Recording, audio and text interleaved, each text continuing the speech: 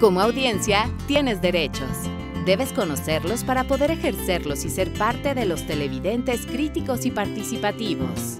Es muy importante que sepas que nuestra programación debe promover el desarrollo armónico de niñas, niños y adolescentes a través de contenidos en los que se estimule su creatividad, la cultura de la prevención y cuidado de la salud, así como el conocimiento científico. Para más información consulta la página de la defensoría.canal22.org.mx.